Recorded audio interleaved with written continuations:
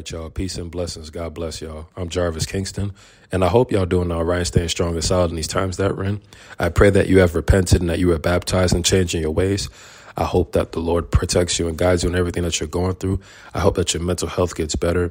And I just hope that whatever situation that you're going through, that the Lord really protects you and comforts you and you just gain more wisdom. You become more strong and wise in the Lord. Amen. I hope that you all had a blessed week and a blessed weekend, blessed Sabbath, blessed Passover as Passover is still continuing.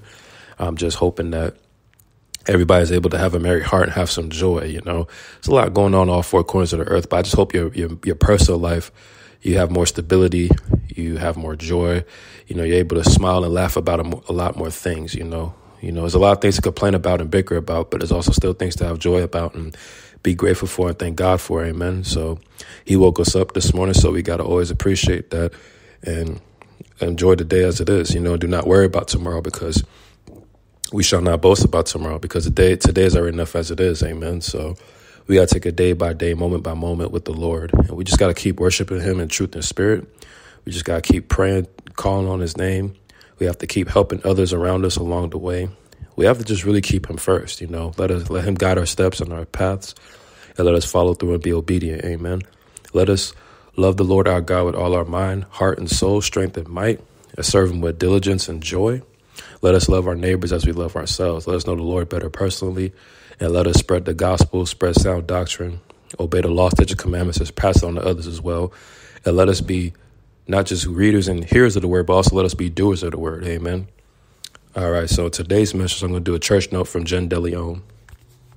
All right, and the title of the church note is called Becoming a Better Single all right, so this message is more based around relationships and love or companionships, things of that nature. Y'all know my messages are always based around like personal things with God and the Bible, uh, you know, things of that nature. But I don't really talk about love or relationships as much as I did. I've probably done a few messages about it in my earlier episodes. I've talked about marriages and love, being with the right person, being equally yoked.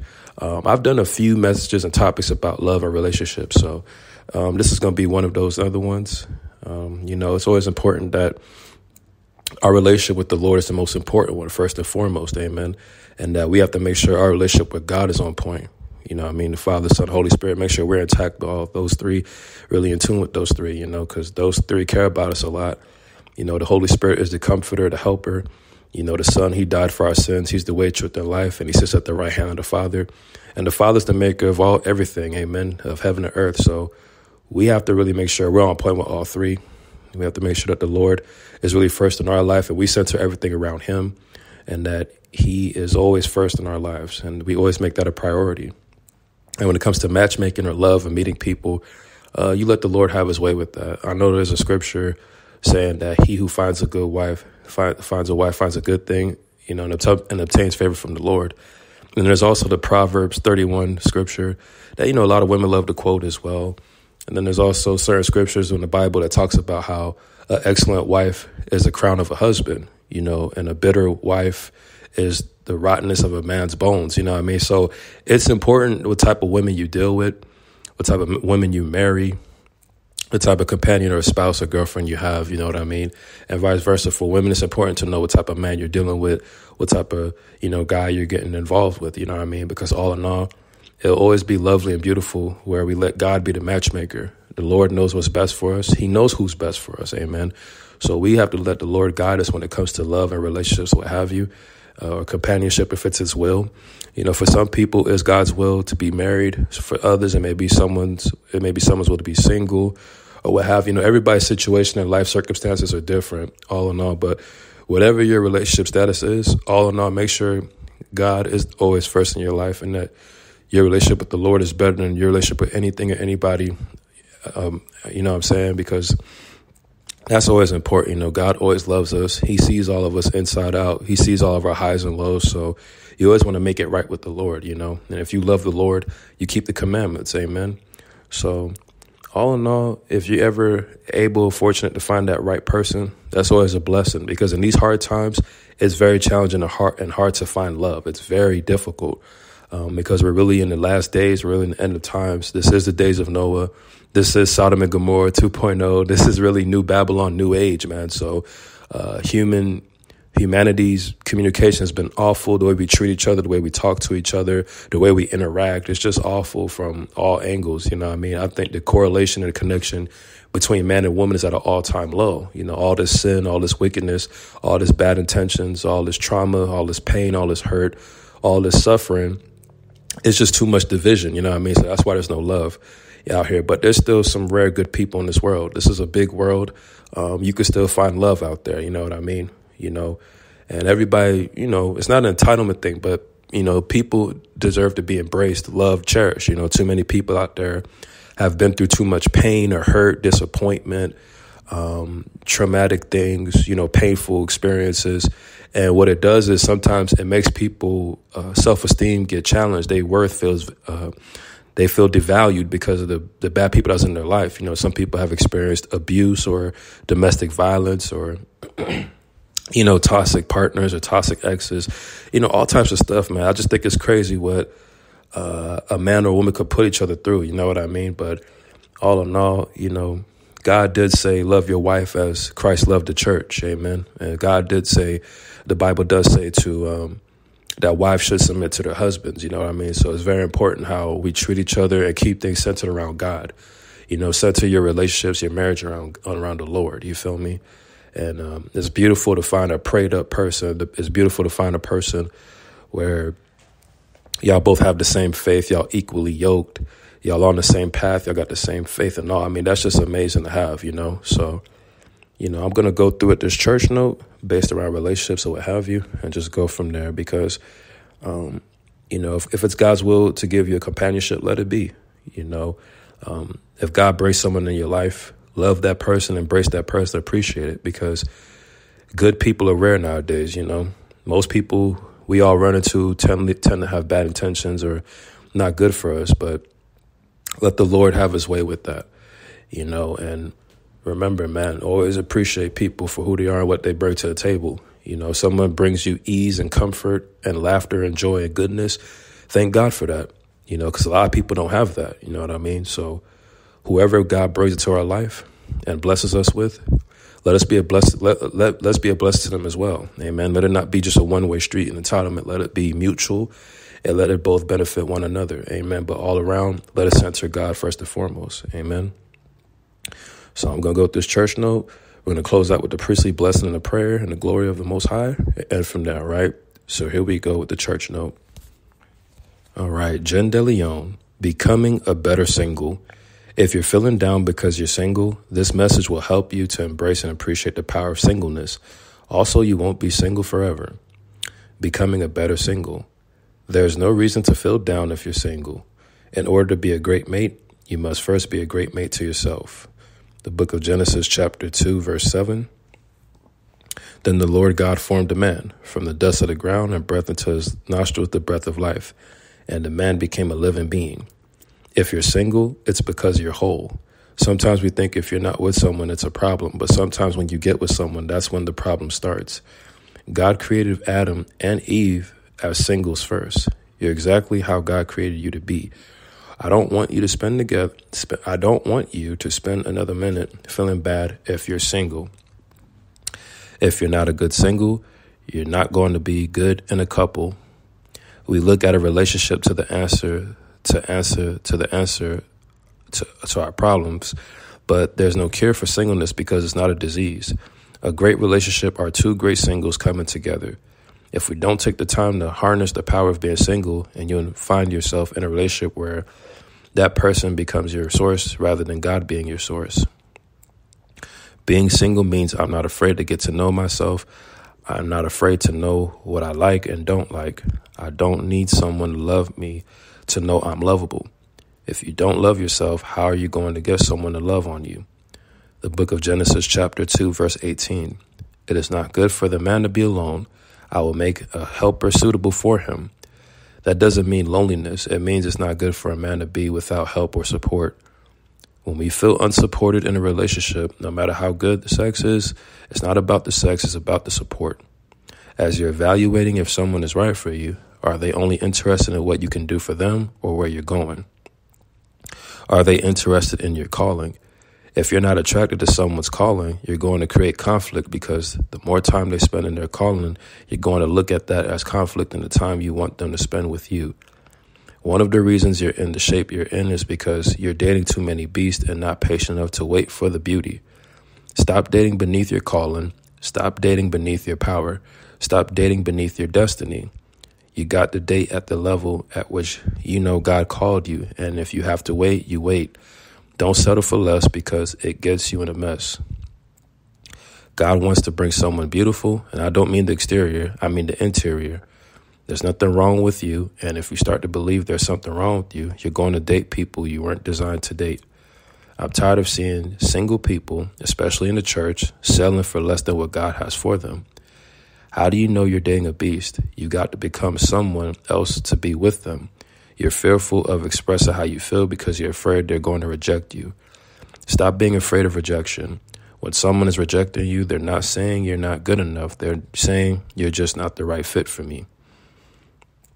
Rejection is not only God's protection, it's also God's redirection. He is redirecting you to the right person. Do not allow the pressure of moving into a relationship or marriage get you out of waiting until you know it's time. What God is trying to do in your life is going to take a little bit of time, and the time works for your good, not against it. People are depressed in single time because they created a date time of when they wanted to have someone, and the date has passed and they're still single. God is saying, Why would you choose an arbitrary date by which to judge my goodness? Then you get depressed by what you don't think I'm going to do. I'm doing when you have no idea who I'm preparing for you. And that person isn't right for you yet and you're not right for them yet. So I'm preparing you both at the same time, and your destinies are going to collide. You have no idea what I'm doing on your behalf. Stop complaining and start thinking. It's important to stop trying to be everything to everybody. If somebody doesn't like you as you are, they're not your person, they're not your pair. If you don't like somebody as is, stop trying to change them for who you want them to be and accept them for who you are. And if you don't like that person, they're not their person. I'd rather you be at home Netflix and chilling by yourself than to share airspace with someone you were never designed to be with. See that than to be with someone who's not taking you to God, but is taking you from God. Genesis chapter 2, verse 22. Then the Lord God made a woman from the rib he had taken out of the man, and he had brought her, and he brought her to the man. Adam was the one with the need and question. Eve was the answer. You've got to have a receiving spirit, not a looking spirit. A looking spirit becomes hungry and thirsty spirit, and it leaves you open to manipulation because you'll come across somebody who will take advantage of your looking and hunger. They use that for their gain and your loss. Let God bring you to the person He has for you. Opposites attract, but those are that alike stay together. Being attracted to someone who's opposite, and that's cool for a moment, but when you try to do life, you want someone who has the same goals as you. Just because you find them in the church, it doesn't automatically mean they have the same goal as you. Watch your dating appetite. If you want healthy love and relationships, you need to start practicing health now. You're not right. You have anger problems. You haven't been in therapy. You have to pray some more. Be selective and get your appetite so you can receive the good pair God has for you. Too often in relationships, we hide who we are from the person we're with because we're afraid of our, our vulnerability will lead them away. The right person will not only be attracted to your pain, but also to your purpose. If you're with someone and you can't express how you feel, then that creates distance between the two hearts. Start asking more questions of the person you're with. If you're in a relationship and someone knows something you don't know about them, or someone knows how they feel about you, and you don't know how they feel about you, ask, How do you feel about me? What's your vision of life? Do you feel about me now how I feel about you? Are you dating anybody else? Am I the only one? Are we exclusive? Some of you don't want to scare them away, but you better turn the lights and let the roaches run if they're the right person. They're going to stay. Assumptions get us hurt. You got to have enough vulnerability to ask some questions. And if they go, they were going to go anyway. Nobody that's really connected to you is going to be upset when you're trying to find the truth about what's going on. But someone who is not connected is going to be like, Why are you asking all these questions? Do you not trust me? No, I don't. We're still building. It's okay to ask questions. It's okay to be vulnerable. That vulnerability will lead you to victory because as you get answers, you'll be able to say it's good or not good fit for me. One of the greatest gifts you can give yourself is the gift of self discovery. Don't wait to find out who you are until you're in a relationship or marriage. There will be things revealed when you're in a relationship because relationship management is trauma management, and those things will come out. Get to know who you are, what you like, and don't be afraid to stand on that. Do not compromise to be recognized by nobody. If they don't see you as you are, then thank God they're blind to the beauty that is within you. You be the beautiful, powerful, loving person you are, and let God do the rest. Amen. Amen. We touch and agree. So that is a church note from Jen DeLeon, Becoming a Better Single. This is a beautiful church note. All her church notes are always amazing, but this one was like really deep. It hit the heart. Uh, you know, because a lot of us deal with vulnerability or loneliness or isolation. And with this journey and this walk with God, when you believe in the Lord in an evil world like this, a lot of times that can cause some uh, that narrow path, that loneliness, that isolation, because it's hard to find someone who has the same beliefs as you or um, understands you inside out. You get what I'm saying? So, all in all, God understands us and, you know, He cares for us heavy. You know what I'm saying? We can never measure how much He loves us. So, you know, that was a really beautiful church note. And if anybody's listening to this, I hope, if you're a man and you're listening to this, I hope that the Lord can provide you with a good woman, a good companionship. And if you're a woman listening to this, I pray that the Lord can give you a good man and uh, could guide you and protect you as well. Amen. Because in these end times that we're in, it's very hard to meet solid, good people. You know, these times that we're in, you know, you got to really get somebody you can survive these end times with, you know, get you somebody you can survive all this prophecy stuff with, you know, because uh, you definitely need someone strong and supportive, you know.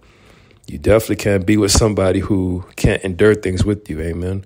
So we're we're you know as a world, you know overall, this world is in a real troubling phase right now, real weird transition, evil wise, darkness wise. So for your behalf, for your sake, for your personal life, you definitely want somebody by your side who can get you through these end times. Someone who's really comforting, nurturing, supportive. You know, the devices of this world, how harsh it this world is, how sharp it is you need somebody to soften you up and lighten you up because at times we could be so intense and hard on ourselves.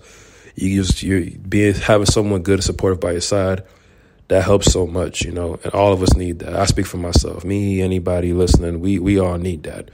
You know what I mean? So yes, yes. All right. So that's a church note. All right. So there you have it. What I would love to do as I close out is give all the glory to the Most High God of Abraham, Isaac, and Jacob, and praise His only begotten Son who died for our sins. Amen. All right, so here we go. Yes, he is the hope for humanity, the last hope of humanity. He is the last Adam, the second Adam. He is the advocate, the Almighty, the Alpha and Omega. Amen.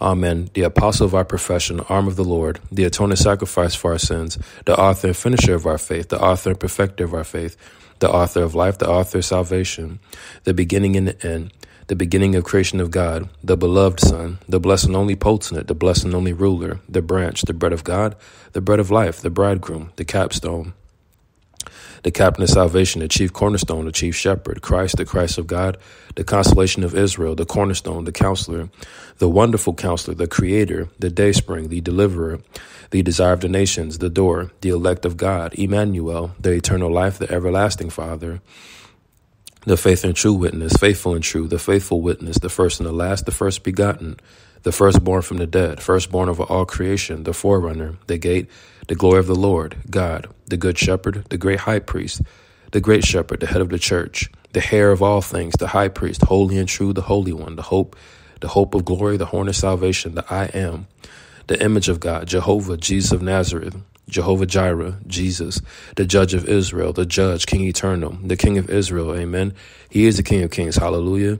He is the King of kings and Lord of lords, King of saints, King of the ages, King of the Jews, the King, the Lamb, the Lamb of God, the Lamb without blemish, the last Adam, the lawgiver, the leader, commander, the life, the light of the world, the lion of the tribe of Judah, the living one, the living stone, the Lord, the Lord our righteousness, the Lord Yah, Yahweh Yahuwah, Yahweh Yahweh Be Yahweh, Ahayashai, Yeshua HaMashiach, Barakatha, Shalom, Shalom, Yeshua, Elohim, Hosanna, Hosanna, the Father of lights, the Father of the fatherless, the Father of the widows, the consuming fire, the sustainer, the sufficient one, the Lord of all, the provider, the Lord of glory, the name above all names, the Lord of lords, the man from heaven, the man of sorrows, the mediator of the new covenant, the mediator, the messenger of the covenant, the Messiah, the mighty God, the mighty one, the morning star, the Nazarene, the offspring of David, the only begotten Son of God, our great God and Savior, our holiness, our spiritual husband, our Passover, our protection, our redemption, our righteousness, our sacrificed Passover lamb, the power of God, the precious cornerstone, the Prince of Kings, the Prince of Life, the Prince of Peace, the Prophet, the Redeemer, the resurrection and life, the, rev- the revelation, the revelator, the resurrector, the radiant one, the righteous branch, the righteous one, the rock, the root of David, the rose of Sharon, the perfect example, the ruler of God's creation, the ruler of the kings of the earth, the Savior, the great physician, the carpenter, the Savior, the seed of woman, the shepherd and bishop of souls, the government rest on his shoulders, the Shiloh, the Shalom, the son of David, the son of God, the son of man, the son of the blessed, son of the most high God, the source of eternal salvation for all who obey him, the Sun of Righteousness, the Just One, the One Mediator, the stone the builders rejected, the true bread, the true God, the true light, the true vine. Yes, He is the truth. Yes, He is the way. Amen. He is the way, truth, and life, the wisdom of God, the witness, the wonderful counselor, the word, the word of God, the word of Yah, the word of Yahuwah, the word of Elohim, the word of Yahweh Shai, the word of Yeshua HaMashiach. Yes, He is the word. Yes, yes, He is the word of life. Yes, He is the word. Amen. We touch and agree. We serve an awesome creator, and the Son is amazing for dying for our sins. Amen. In the authority and the power and name of Jesus Christ, you are healed, renewed, restored, redeemed, loved, forgiven, embraced, cherished. Yes, yes, you are blessed, you are anointed, you are favored, new creature in Christ, born again, repented, baptism. You are baptized. Amen. You have new beginnings, a new mind, a new heart, a new soul, new eyes, new legs, new health, new hands, new prosperity, new beginnings, new paths, new footsteps new open doors, new scenery, new places. Amen. The Lord is moving you to a new place. The Lord is moving you into new transportation. The Lord is helping and supplying in His Son's riches. Amen. Yes, yes. We serve an awesome creator, amazing Son. Amen. Yes, yes. So there you have it, y'all. All right. That is the church note for this week. All right. That is the church note, y'all. Yes, love, love, relationships. Have to stress the importance of love and relationships becoming a better single. Yes, yes. As a note right there. You know, this world is so evil and so hateful, it makes people forget how to be loved how to give love. But we know Corinthians love. The Bible tells us about that. You know, how it doesn't boast, how it doesn't brag, you know. You know, love covers all sins. You know, the greatest love of all is a man lay down his life for his friends. Amen. The Lord, He loved us so much, He gave His Son for us. Amen. So love is important, man. All throughout the old covenant, the new covenant, it's all about love, y'all. All right, we gotta really give and receive love, and really cherish and share it, man. You know, love is not meant to be kept to oneself. All right, so let us keep working to be better for ourselves. Let us be better for the Lord. You know what I mean? And let the Lord God protect us in, in our comings and goings. Amen. So that you have a child, all right? So I pray to God that whoever's listening to this message, I pray that you get baptized, you start your, your life off for the Most High. I pray that you change your ways and repent. And I just hope that you get on a better path that the Lord has set for you and all the things that the Lord has in store for you that He gives you a hundredfold of it. Amen. Eternal life in a hundredfold. Yes, yes. Let us take rest for the Lord. Let us walk by faith and trust in Him. All right. So, what I love to do is give y'all this priestly blessing and dip.